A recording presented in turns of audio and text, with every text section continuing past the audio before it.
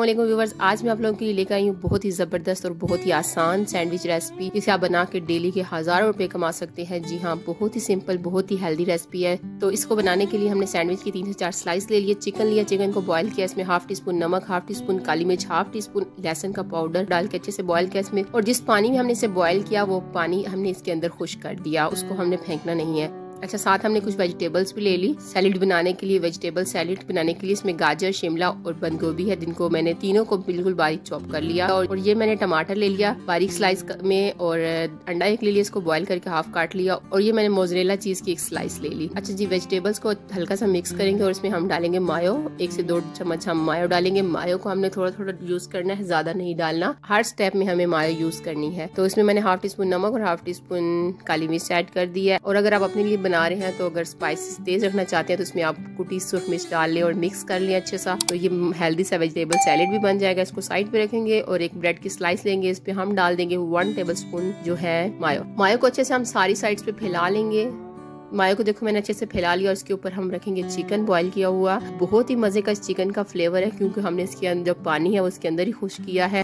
Sandwich में chicken का जो टेस्ट आएगा, ज़बरदस्त होगा। तो देखे मैंने भर भर के जो है ना सैंडविच के ऊपर चिकन रखा है, ताकि बहुत ही स्ट्रॉन्ग सा फ्लेवर आए चिकन का सैंडविच में, और इसे हमने कवर कर दिया दूसरे स्लाइस से, और उसके ऊपर मायो डालेंगे वन टेबल स्पून मायो ज़्यादा नहीं, मैं डाल रही हर स्लाइस पे, क्योंकि हमें मायो डालनी है सैलेड में भी मायो डाली हुई है तो हल्की हल्की डाल रही हूँ। और उसके ऊपर मैंने स्लाइस रख दी मोजरेला स्लाइस चीज़ की तो ये ऊपर टमाटर रख रही हूँ। टमाटर अगर आप कम खाना पसंद करते हैं या नहीं पसंद करते तो छोड़ दें। और प्याज अगर खाना पसंद करते हैं तो वो भी रख दें। मैं प्याज नहीं डाल रही। अच्छा ये मैंने टमाटर रख लिए सारी साइडों पे और साथ में एग रख रही हूँ। एग को मैंने, देखे, उल्टी साइड पे ऐसे रख दिया, दोनों साइडों पे ऐसे। तो अब इसे हम फिर ब्रेड से कवर कर देंगे। ब्रेड के ऊपर पे हल्की सी मायो लगा के इसे अच्छे से फैला लेंगे और फिर हम इसे अंडों को कवर कर देंगे। अच्छा इसमें मैं कैचअप का इस्तेमाल नहीं कर रही। अगर आप लोगों को कैचअप पसंद है तो आप कैचअप का भी इस्तेमाल कर सकते हैं, लेकिन मैं सिर्फ़ मायो वाला सैंडविच बना रही हूँ। फिर मायो लगाई, मायो को अच्छे से फैलाने के बाद हमने ऊपर वेजिटेबल सैलेड रख दिया। सैलेड को अच्छे से सारी साइडों पे फैला के फिर हमने जो ब्रेड की स्लाइस है, उस पर मायो लगा के सैलेड को भी हमने कवर कर देना है। और ये फिर हमारा मज़ेदार सा हेल्दी सा सैंडविच बन के रेडी है। तो हमने इसको फ्राई कर लेना है हल्का सा। फ्राई करने के लिए आप ऑयल बटर घी कुछ भी इस्तेमाल कर ले। मैं ऑयल डाल रही हूँ तो ये देखें, अच्छे से प्रेस प्रूस करके मैंने इसे एक साइड से कर लिया है। फ्राई तो अब इसके ऊपर मैं ऑयल फिर डाल रही हूँ और इसे हम पलट लेते हैं सैंडविच को।